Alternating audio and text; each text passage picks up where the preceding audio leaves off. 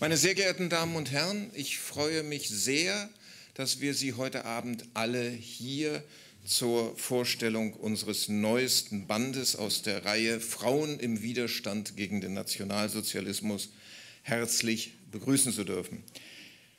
Der erste Band im Jahre 2022 handelte von Liane Berkowitz und Friedrich Rehmer.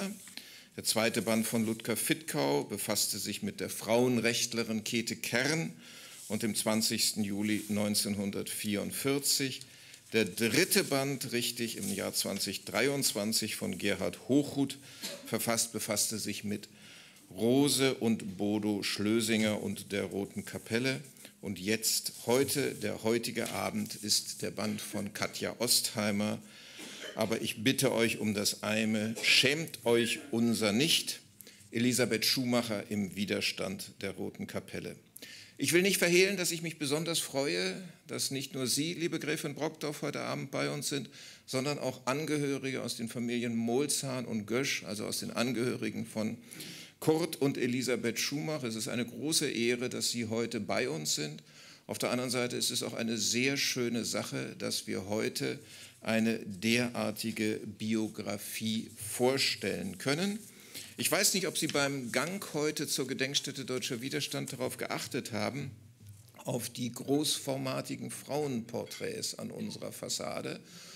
Und wenn Sie genau hingesehen haben, nun gut, auch selbst die so schlecht sehen wie ich können es erkennen, ist da auch ein schönes, großes Porträt von Elisabeth Schumacher mit dabei. Und sie wird auch in unserer momentanen Sonderausstellung über Frauen im Widerstand gegen den Nationalsozialismus entsprechend gewürdigt. So, soweit als Vorrede. Und Sie wissen, Sie kommen bei mir nie ohne eine Viertel-Werbeminute weg.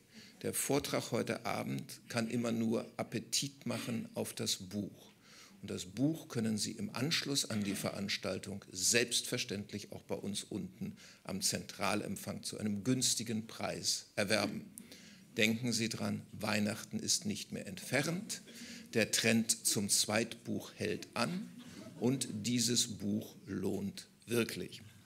Meine Damen und Herren, über Elisabeth und Kurt Schumacher werde ich Ihnen jetzt nichts erzählen, sondern das überlasse ich voller Freude Katja Ostheimer. 1969 in Leipzig geboren, Galvaniseurin mit Abitur in Leipzig. Sie studierte dann Verfahrens- und Umwelttechnik an den Hochschulen in Köthen und Bremerhaven und wie Sie die Einladung der Einladung entnehmen konnten, arbeitet sie heute im Fachdienst Natur und Umwelt bei der Stadtverwaltung in Neumünster. Sie haben sich einem spannenden Thema gewidmet. Sie haben sich mit großer Intensität diesem Thema gewidmet. Und insofern brauche ich mich mit meiner Vorrede gar nicht lange aufzuhalten, sondern darf Sie bitten, Frau Ostheimer, zu uns über Elisabeth Schumacher zu sprechen. Vielen Dank für Ihre Aufmerksamkeit.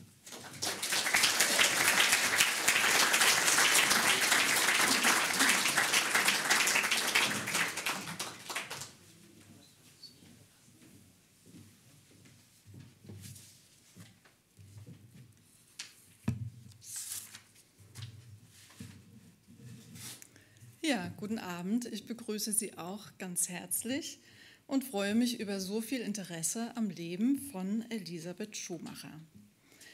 Ähm, besonders begrüße ich natürlich den Neffen von Elisabeth Schumacher, Martin Molzahn, und den Neffen von der Schwester von Kurt Schumacher, Michael Gösch. Also den Neffen von Kurt Schumacher, den Sohn von der Schwester von Kurt Schumacher. Schön, dass Sie da sind. Heute Abend möchte ich Sie auf den Lebensweg von Elisabeth Schumacher mitnehmen und dabei auf die Frage eingehen, die mich besonders beschäftigt hat.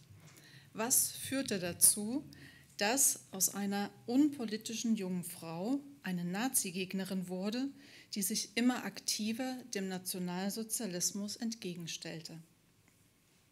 Aber kurz zur Entstehungsgeschichte des Buches. Ende Oktober 2013 kam ich zum ersten Mal hierher in die Gedenkstätte Deutscher Widerstand. Ich hatte einige Monate vorher über die Rote Kapelle gelesen und der Name Elisabeth Schumacher war mir aufgefallen. Er war mir schon seit meiner Kindheit und Jugend vertraut, denn in meiner Heimatstadt Leipzig bin ich fast täglich durch die Elisabeth Schumacher Straße gegangen. allerdings ohne zu wissen, wer diese Frau war. Nun konnte ich ihren Namen dem Widerstand gegen den Nationalsozialismus zuordnen. Ihre Lebensgeschichte begann mich zu interessieren. Allerdings fanden sich in der vorhandenen Literatur nur einige wenige Lebensdaten über sie und ihren Mann, mit dem sie gemeinsam im Widerstand aktiv war. Oft wurde sie sogar nur als Ehefrau des Bildhauers Kurt Schumacher bezeichnet. Ich wollte mehr erfahren und mir den Nachlass von Elisabeth Schumacher ansehen. Deshalb rief ich Hans Koppi in der Gedenkstätte Deutscher Widerstand an. Seine Eltern Hans und Hilde Koppi gehörten ebenfalls zum Widerstandskreis der Roten Kapelle. Hans Koppi freute sich über mein Interesse und fand es überhaupt nicht seltsam, dass ich mir das einfach nur mal angucken wollte. Ich bin ja schließlich keine Historikerin und hatte auch nicht vor, ein Buch zu schreiben. Bei diesem ersten Besuch kopierte ich mir einige Briefe von Elisabeth Schumacher und war fasziniert. Mit der Transkription begann meine Recherche in den Originaldokumenten. Ich war vollkommen überrascht, wie viele Details sich aus dem Leben von Elisabeth Schumacher noch finden ließen. Auch in anderen Archiven wurde ich fündig. Gespräche mit Nachfahren von Verwandten und Freundinnen und Freunden von Elisabeth Schumacher vervollständigten die Lebensläufe.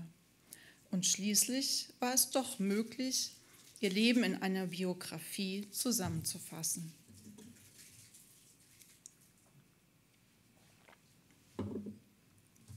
Also, Elisabeth Hohenemser wurde am 28. April 1904 in Darmstadt geboren. Ihr Vater Fritz Hohenemser stammte aus einer wohlhabenden Bankiersfamilie in Frankfurt am Main. Ihre Mutter Rose Eckold war als Tochter eines Oberförsters im Thüringer Wald aufgewachsen. Beide hatten einen evangelischen Glauben und erzogen ihre Kinder auch so.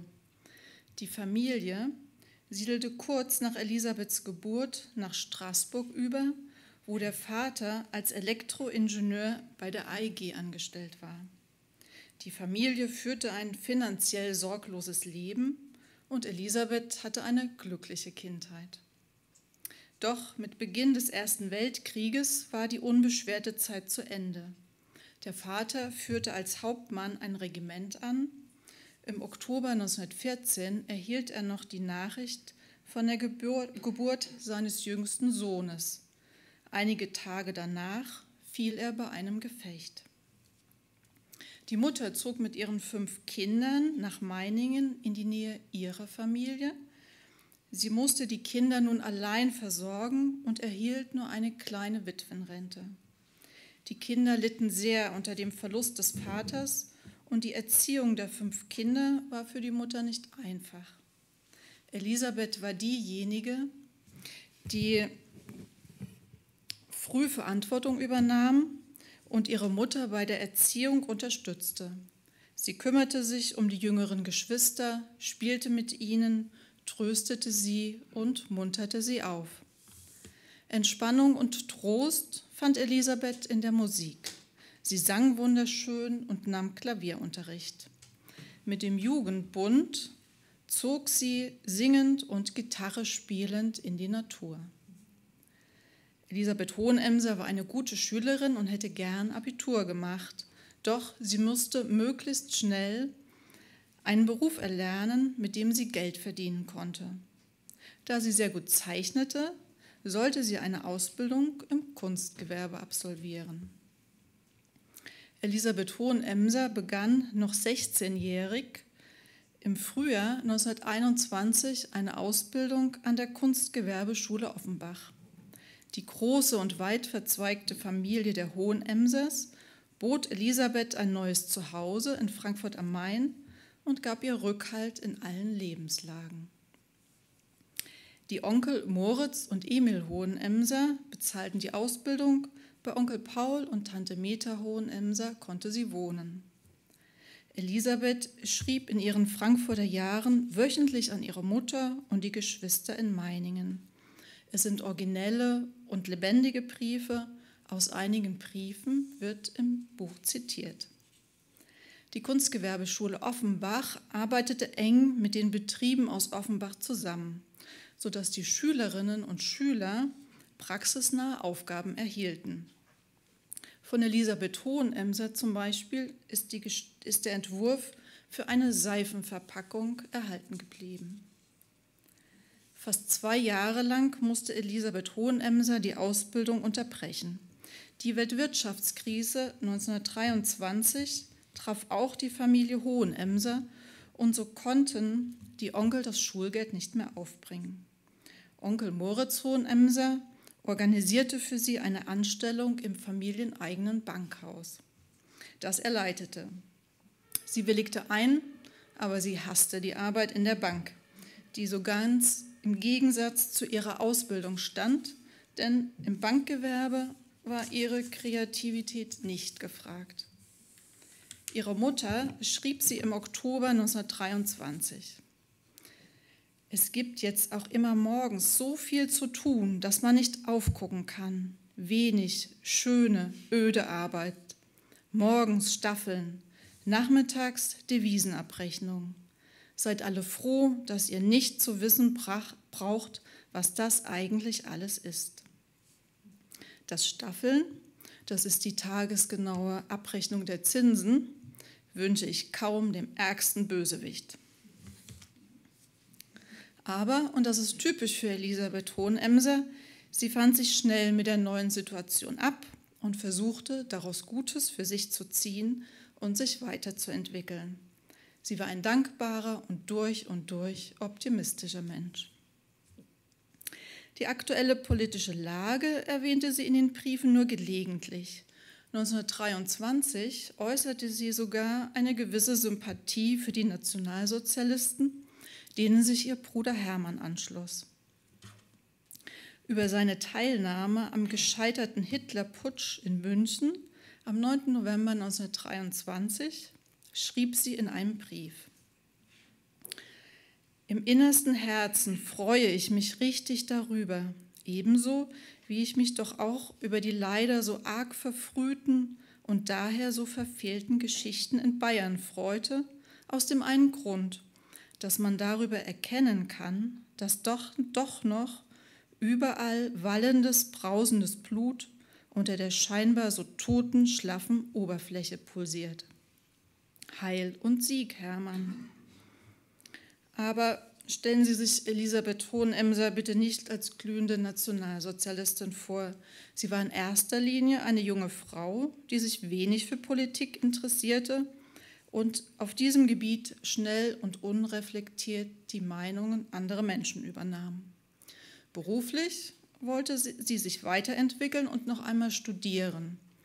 1928 zog die 24-Jährige in die Metropole Berlin und begann ein Studium der Gebrauchsgrafik an den Vereinigten Staatsschulen für freie und angewandte Kunst und begegnete dort einem blonden, gut aussehenden jungen Mann, in den sie sich verliebte. Es war der angehende Bildhauer Kurt Schumacher.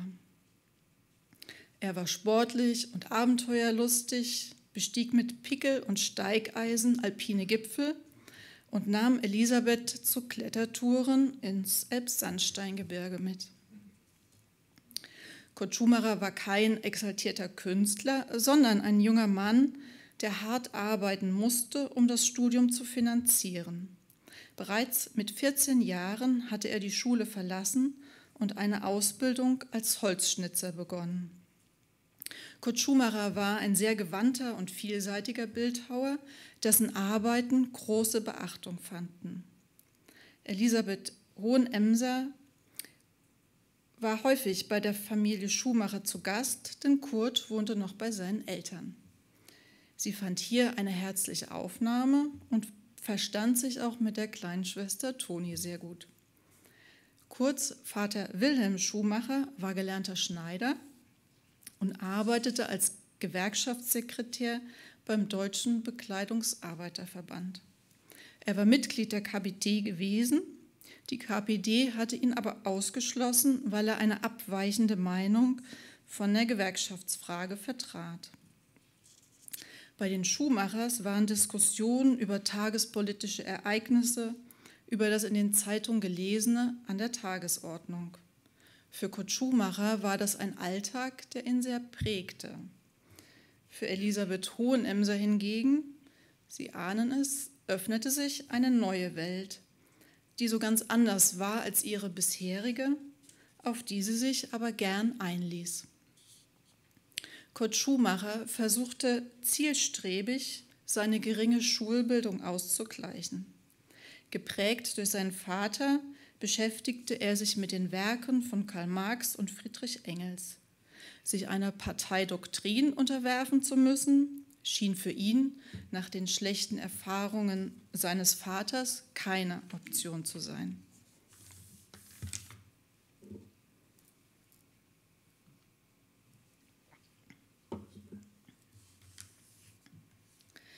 Elisabeth Hohenemser wollte gern in der Nähe von Kurt Schumacher in Tempelhof wohnen.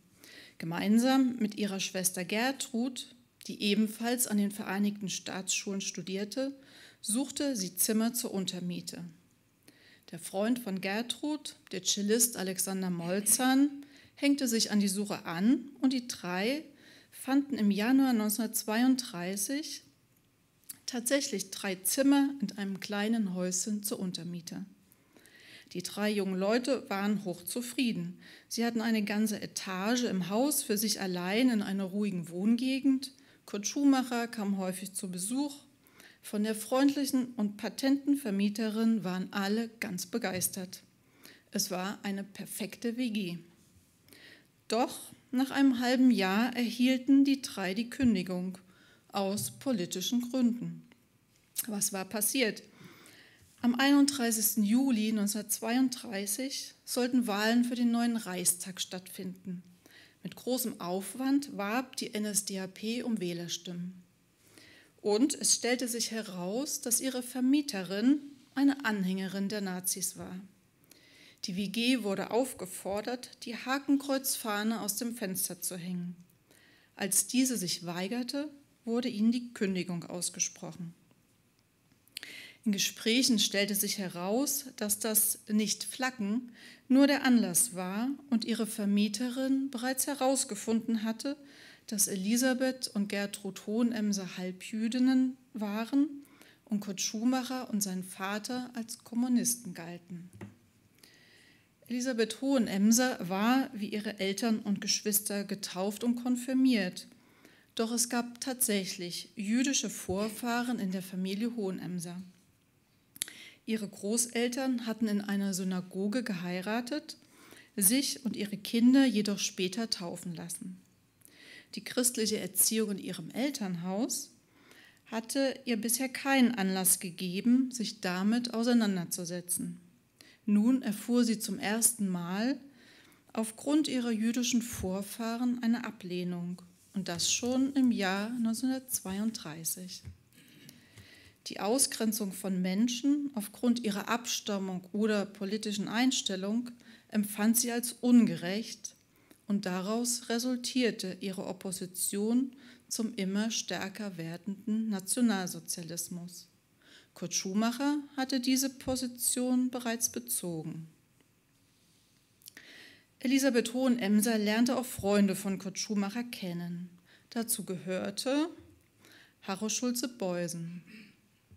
Der Jurastudent interessierte sich seit frühester Jugend brennend für Politik. Von ihm ging eine natürliche Autorität aus und seine Begeisterungsfähigkeit riss andere mit. Dabei suchte er selbst noch nach einem eigenen politischen Standpunkt.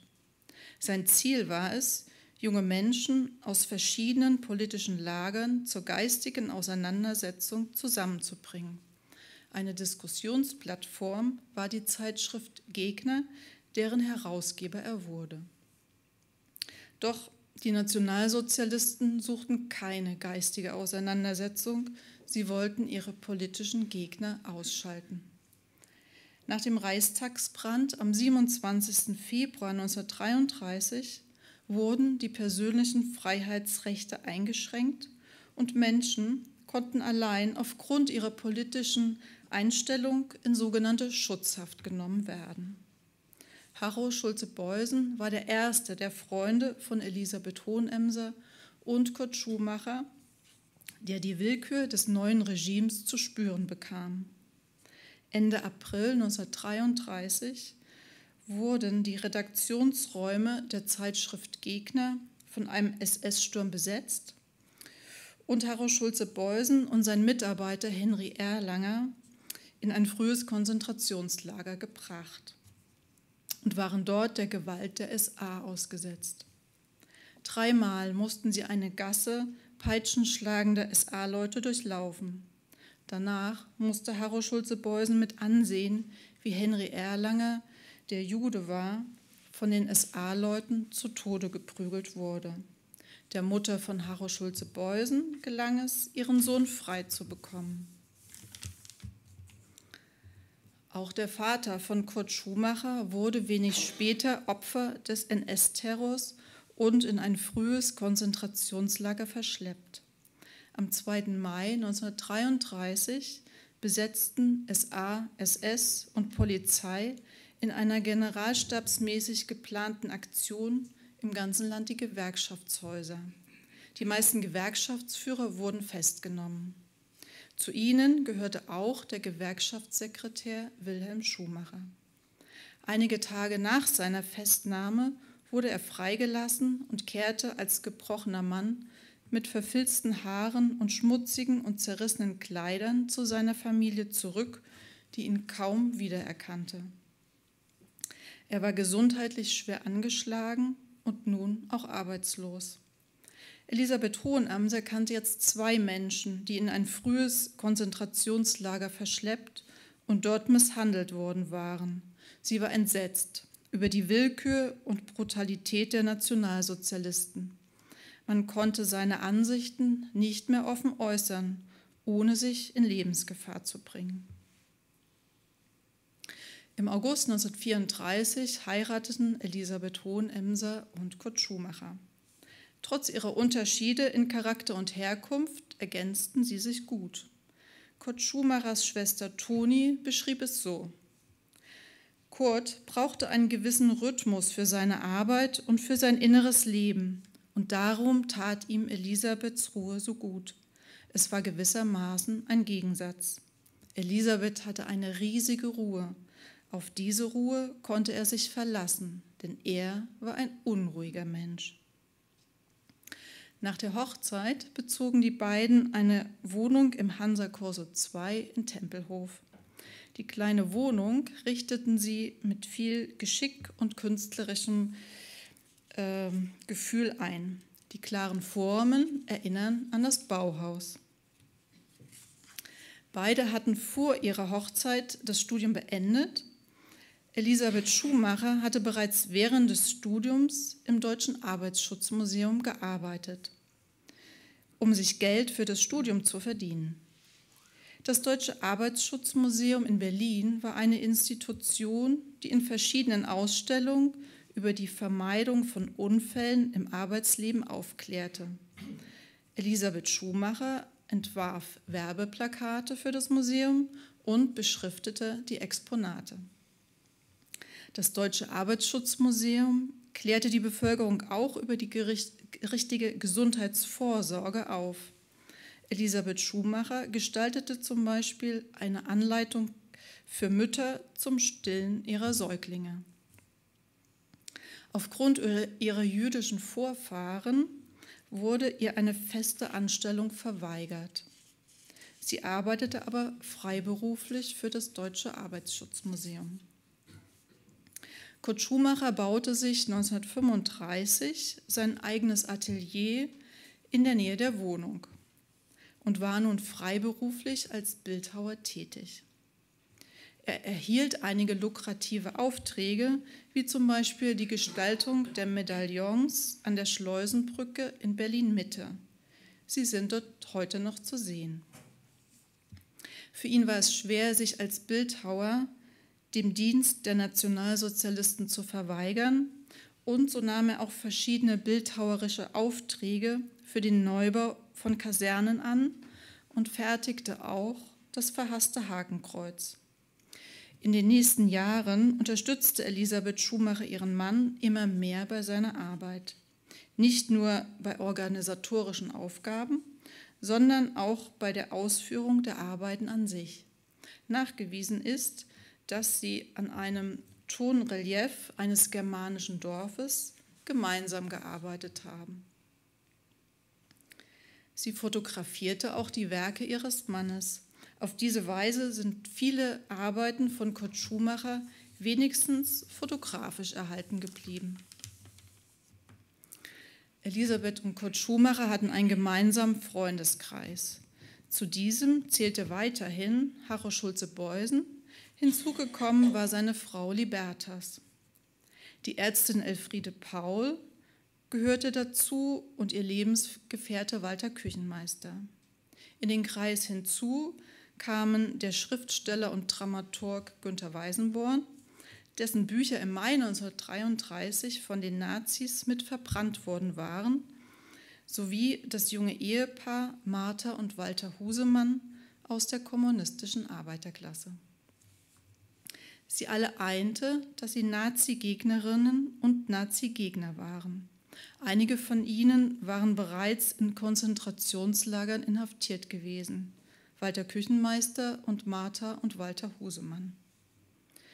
Elisabeth und Kurt Schumacher erfuhren so von den Zuständen in den Konzentrationslagern.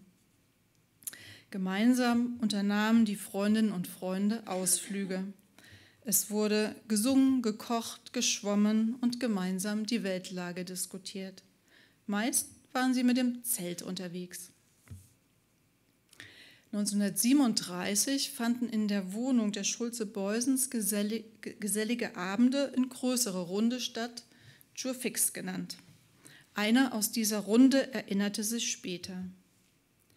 Elisabeth Schumacher war von einer so glasklaren Freundlichkeit, von einer Mütterlichkeit und man spürte auch ihre künstlerische Seele. Sie hatte so wenig Damenhaftes ohne dass sie plump oder deplatziert gewirkt hätte. Überhaupt nicht. Sie strahlte so etwas Selbstverständliches, Freundliches, Gesundes aus.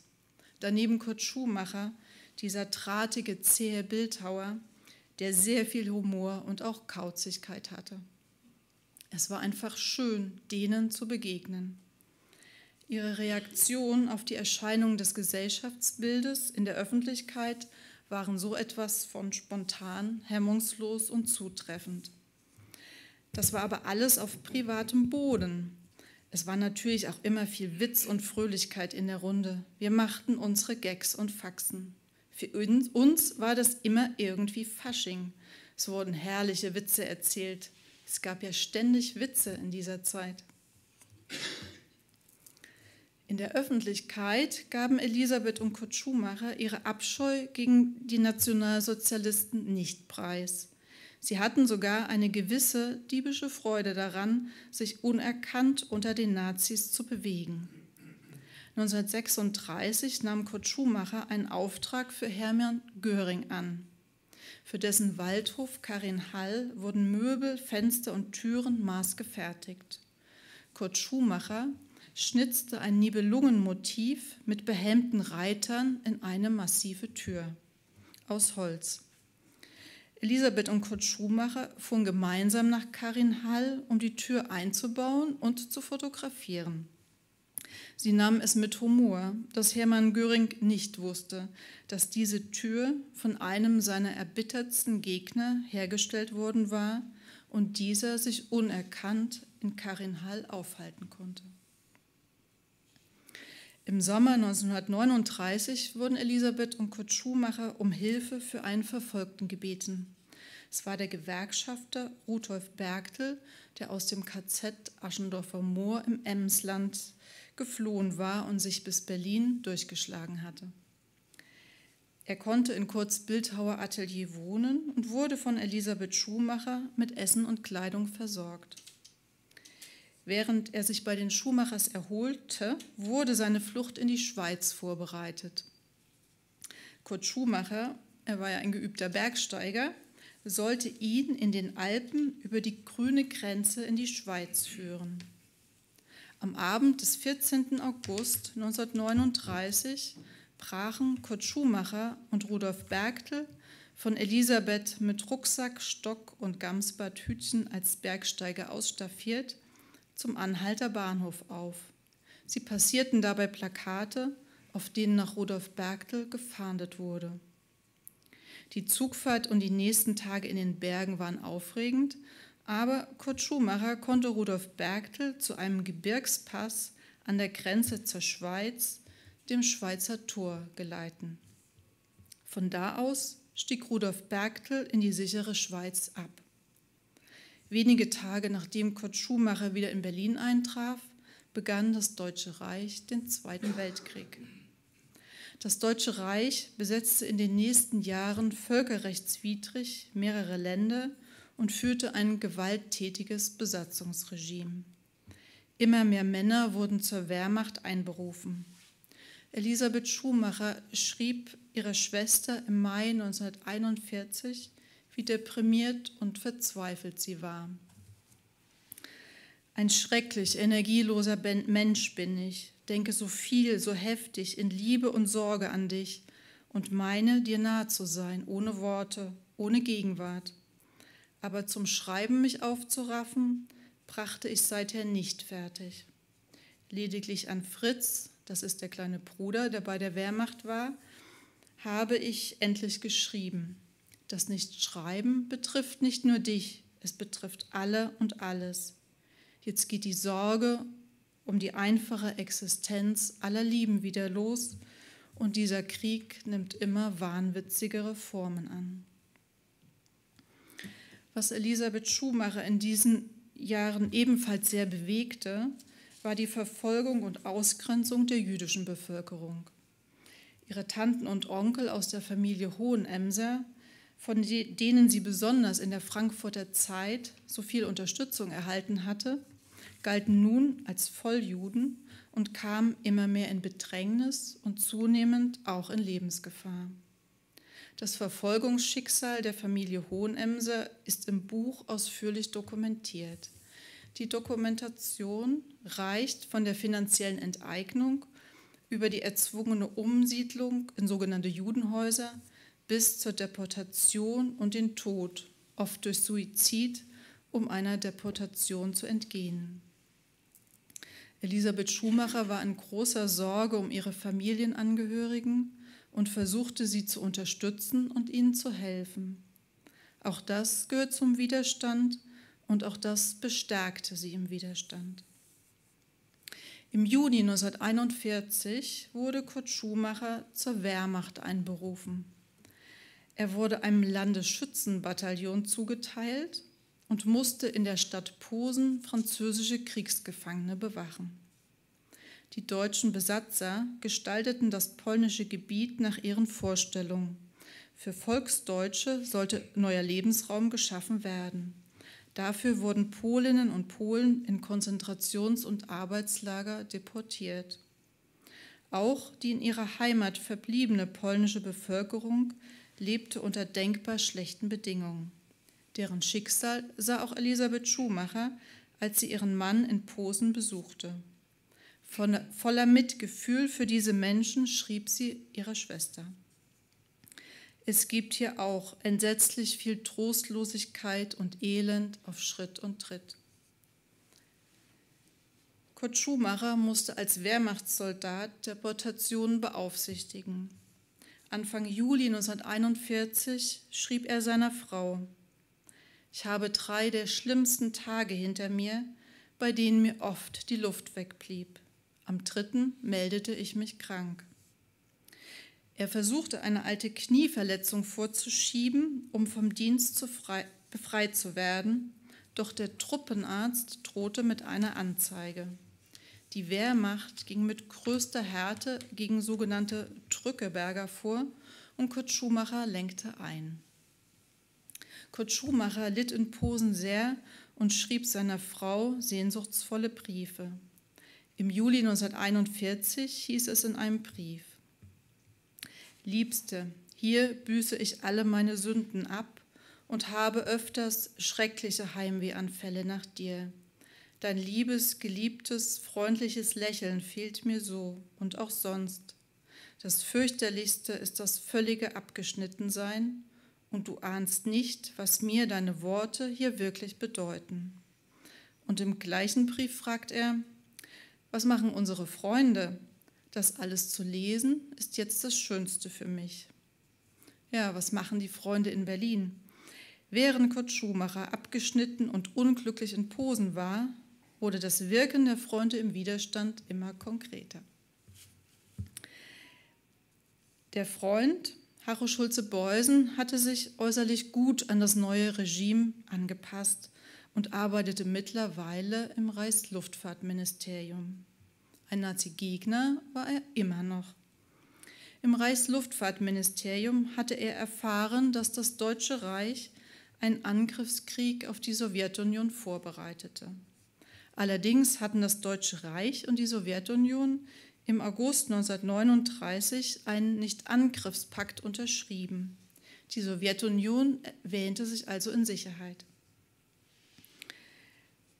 Ein Mann, der ebenfalls auf seiner Arbeitsstelle vom geplanten Angriffskrieg auf die Sowjetunion erfahren hatte, war Arvid Harnack, der im Reichswirtschaftsministerium arbeitete. Er und seine Frau Mildred waren ebenfalls von einem Freundeskreis aus Hitler-Gegnerinnen und Gegnern umgeben. Beide Männer arbeiteten also an Schaltstellen der Macht und hatten in ihren Arbeitsstellen Zugang zu Informationen, die ihnen Aufschluss über die nächsten Schritte der NS-Führung gaben. Im Herbst 1940 hatten sich beide zu Gesprächen getroffen und arbeiteten seitdem zusammen. Arvid Harnack verfügte über gute Verbindungen zur sowjetischen Botschaft und über einen persönlichen Kontakt zu einem der Mitarbeiter, zu Alexander Korotkov. Arvid Harnack gab die gesammelten Informationen an Alexander Korotkov weiter. Dieser war außerdem ein Mitarbeiter des Auslandsnachrichtendienstes der Sowjetunion, des NKWD. Anfang April 1941 informierte er die Zentrale in Moskau darüber, dass der Angriff auf die Sowjetunion nun endgültig entschieden war und der Stab der Luftwaffe die Verkehrsknotenpunkte, Objekte und Orte für eine Bombardierung auf sowjetischem Territorium festgelegt hatte. Noch konnte Alexander Korotkov die Information selbst nach Moskau weiterleiten. Mit Kriegseintritt der Sowjetunion würden aber alle Mitarbeiter der Botschaft abgezogen werden. Der sowjetische Nachrichtendienst beauftragte ihn deshalb, in Berlin Voraussetzungen für einen Funkverkehr zu schaffen, und darin war Elisabeth Schumacher involviert. Sie lernte Alexander Korotkov persönlich kennen. Im Frühjahr 1941 trafen sich Libertas Schulze-Beusen und Elisabeth Schumacher mit ihm in Marquardt an der Mole bei Potsdam. Dabei hatte Elisabeth Schumacher den Funkschlüssel erhalten. Am 21. Juni 1941, also einen Tag vor dem Überfall auf die Sowjetunion und damit sozusagen in letzter Sekunde, übergab Alexander Korotkov zwei Funkgeräte an die Gruppe. Eins nahm Hans Koppi in Empfang, der das Funken übernehmen sollte. Am 26. Juni 1941 sendete Harro Schulze-Beusen einen Probefunkspruch Tausend Grüße allen Freunden. Danach gingen beide Funkgeräte kaputt und es herrschte Funkstille. Als keine Funksprüche in Moskau ankamen, bat Alexander Korotkov den Nachrichtendienst der Roten Armee um Hilfe. Dieser funkte im August 1941 seinen Mann in Brüssel an und bat ihn, Kontakt mit der Gruppe in Berlin aufzunehmen. Dieser Funkspruch enthielt Namen, Adressen und Telefonnummern der Schulze-Beusens, von Arvid Harnack und auch Elisabeths Name wurde genannt. Diesen Funkspruch fing die deutsche Abwehr ab und arbeitete mit Hochdruck an der Entschlüsselung.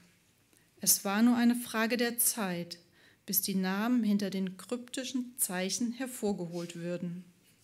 Elisabeth Schumacher schwebte nun in großer Gefahr. Warum hatte sie sich dazu entschlossen, mitzuhelfen, die Sowjetunion vor dem Überfall der deutschen Wehrmacht zu warnen? Es war sicherlich ihre Hilfsbereitschaft, für die sie so bekannt war. Sie tat es sicherlich auch als Vertretung für ihren Mann, der bei der Wehrmacht war. Aber vor allem war sie tief erschüttert über die Grausamkeit, mit der die Nationalsozialisten nun in Europa wüteten. Sie konnte es nicht mit ihrem Gewissen vereinbaren, diesen Verbrechen tatenlos zuzusehen. Von den Verbindungen zur Sowjetunion wusste aber nur ein kleiner Teil des Widerstandsnetzwerkes. Etwa zeitgleich wurden vielfältige andere Aktionen geplant und durchgeführt und die Gruppe wurde immer größer. Denn der von Adolf Hitler als Blitzkrieg geplante Überfall auf die Sowjetunion wurde im Dezember 1941 kurz vor Moskau von der Roten Armee gestoppt. Der Krieg war an einem Wendepunkt angekommen. Der Freundeskreis um Harro Schulze-Beusen war optimistisch, die deutsche Bevölkerung wachrütteln zu können. Der Verlust vieler Männer, Väter, Söhne oder Brüder an der Front machte die Menschen vielleicht empfänglicher, den Nationalsozialismus nun mit anderen Augen zu sehen. In den nächsten Monaten wurden viele Flugblätter entworfen, vervielfältigt und verteilt. Bekannt ist, dass Elisabeth Schumacher auf jeden Fall bei der Verteilung der, mit, der Flugblätter mitgeholfen hat. Sie brachte sie auch ihrem Mann nach Posen mit, der sie dort unter seinen Wehrmachtskameraden verteilte. Die Texte sind von großer Sprachgewalt und Eindringlichkeit. Journalisten und Dramaturgen haben daran mitgewirkt. Ein Flugblatt war ein fiktiver Brief an einen Polizeihauptmann, der an den Verbrechen im Osten beteiligt war. Zentraler Punkt ist die Begebenheit bei einer Erschießung, die einen der Mörder nicht mehr losließ und während der er einen Nervenzusammenbruch erlitt. Eine junge Mutter mit drei kleinen Kindern muss sich vor dem Erschießungskommando aufstellen. Ein Töchterchen läuft noch einmal zurück, holt ihre Puppe und setzt diese neben sich auf die Erde, ebenfalls zum Erschießen bereit.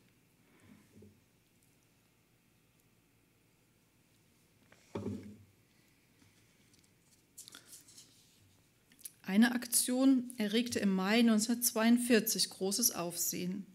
Es war der Protest gegen die antisowjetische Propagandaausstellung Das Nazi-Paradies im Berliner Lustgarten. Den Titel hatten die Nationalsozialisten zynisch gewählt, denn den Besucherinnen und Besuchern wurde gezeigt, dass die Menschen in der Sowjetunion angeblich in dreckigen Erdhöhlen hausten, zerlumpt und mit dumpfen Gesichtern. Es wurde suggeriert, dass der Überfall auf die Sowjetunion eine Befreiungstat für die dort lebende Bevölkerung darstellte. Eine Zettelklebeaktion gegen diese Ausstellung wurde organisiert. Die Bevölkerung sollte sehen, dass es Menschen gab, die die Propaganda der Nationalsozialisten durchschauten. In der Nacht vom 17. auf dem 18. Mai 1942 klebten ca. 20 Menschen in verschiedenen Stadtteilen Berlins Zettel. Sie tarnten sich als Liebespaare, während sie sich umarmend an Hauswände, Bäume oder Litfaßsäulen lehnten, klebte einer von ihnen einen kleinen Zettel an. Elisabeth und Kurt Schumacher haben klebende Paare wachsam begleitet. Am nächsten Morgen lasen die Berlinerinnen und Berliner, die zur Arbeit eilten. Ständige Ausstellung, das Nazi-Paradies, Krieg, Hunger, Lüge, Gestapo. Wie lange noch? Diese Widerstandsaktionen erzielten viel Aufmerksamkeit in der Öffentlichkeit und erreichten damit viele Menschen. Die Ermittlungen der Gestapo führten jedoch ins Leere. Die Gefahr für die Aufdeckung der Gruppe lauerte woanders. Denn das Sonderkommando Rote Kapelle arbeitete fieberhaft daran, die Berliner Gruppe über die abgefangenen Funksprüche aufzudecken. Mitte August 1942 gelang es, den Funkspruch mit den darin enthaltenen Namen zu entschlüsseln. Die Gestapo nahm die Beschattung von Harro Schulze-Beusen auf. Von den Ermittlungen der Gestapo wiederum wusste man in Moskau nichts und die Bemühungen, in Funkkontakt mit der Berliner Gruppe zu kommen, wurden verstärkt. Die defekten Funkgeräte sollten durch neue ersetzt werden. Der sowjetische Auslandsnachrichtendienst setzte Anfang August zwei Männer mit Funkgeräten per Fallschirm ab. Einer davon, Albert Hössler, meldete sich bei Elisabeth Schumacher. Sie versorgte ihn mit Lebensmitteln und Kleidung. Er wohnte bei ihr in der Wohnung und in Kurz Bildhauer Atelier. Sie vermittelte den Kontakt zu Harro Schulze-Beusen. Albert Hössler unternahm mehrere Funkversuche, wahrscheinlich auch aus der Wohnung des Schuhmachers.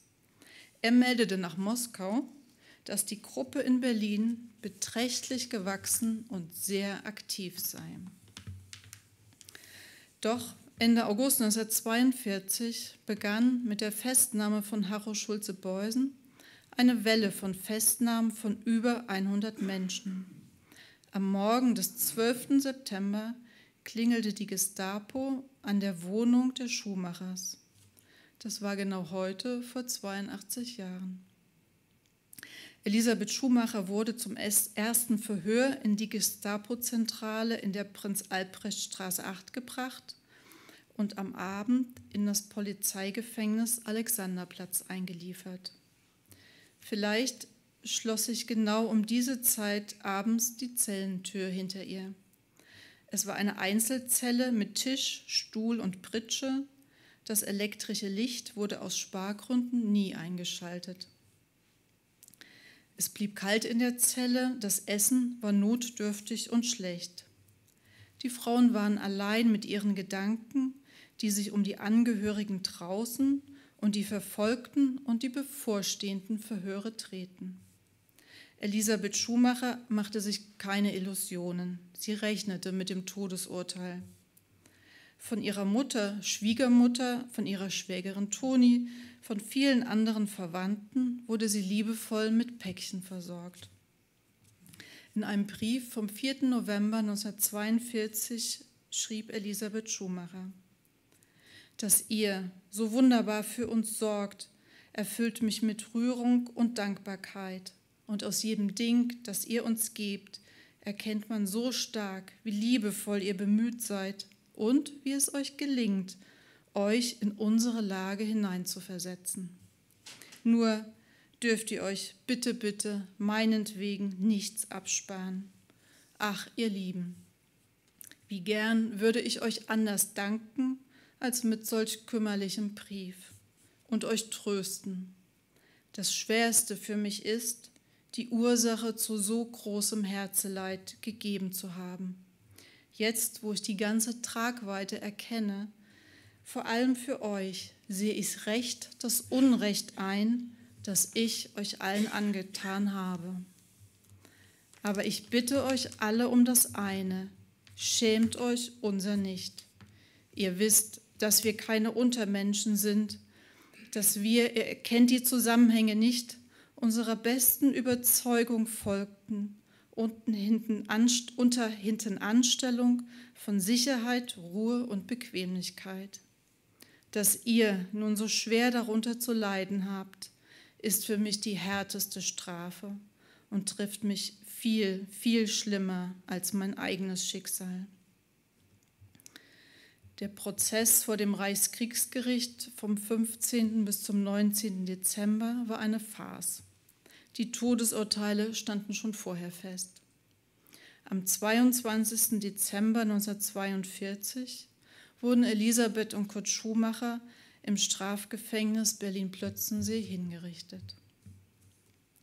Briefe und Fotos von Elisabeth und Kurt Schumacher wurden weitestgehend von der Gestapo und durch Kriegseinwirkung zerstört.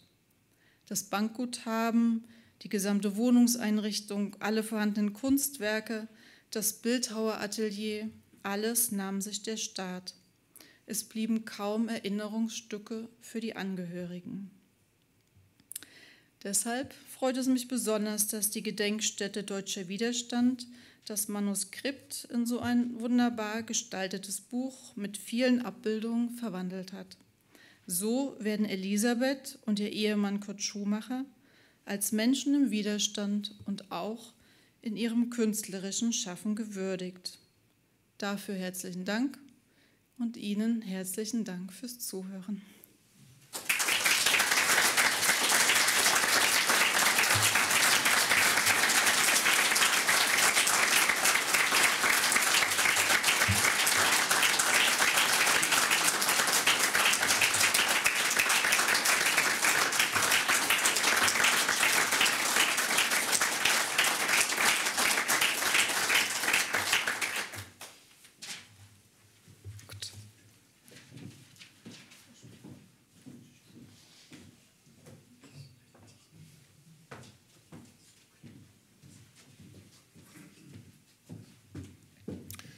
Liebe Frau Ostheimer, ganz herzlichen Dank für diesen Vortrag, für diesen bewegenden Vortrag, für diesen informativen Vortrag, der uns Elisabeth Schumacher noch einmal näher gebracht hat. Meine Damen und Herren, ich kann an dieser Stelle noch einmal sagen, das, was ich vorhin schon gesagt habe. Wenn Sie die ganze Geschichte interessiert, kaufen Sie das Buch, lesen Sie das Buch, lesen Sie es. Die Erinnerung an Elisabeth und Kurt Schumacher kann so lebendig erhalten werden. Ich danke Ihnen, dass Sie heute Abend unsere Gäste gewesen sind. Wer den Vortrag noch einmal nachhören und nachsehen möchte, kann dieses in wenigen Tagen auf der Webseite der Gedenkstätte Deutscher Widerstand und auf dem YouTube-Kanal der Gedenkstätte Deutscher Widerstand. Für heute ganz herzlichen Dank, dass Sie da waren. Liebe Frau Ostheimer, noch einmal ganz herzlichen Dank an Sie. Frau Ostheimer steht jetzt nach dem Ende der Veranstaltung gerne auch noch für einzelne Fragen von Ihnen im Einzelgespräch zur Verfügung. Ansonsten wünsche ich Ihnen einen guten Nachhauseweg und denjenigen, die unsere Ausstellung über die Frauen im Widerstand gegen den Nationalsozialismus noch nicht gesehen haben sollten, bis Anfang November können Sie sich sie ansehen. Vielen Dank und einen guten Nachhauseweg.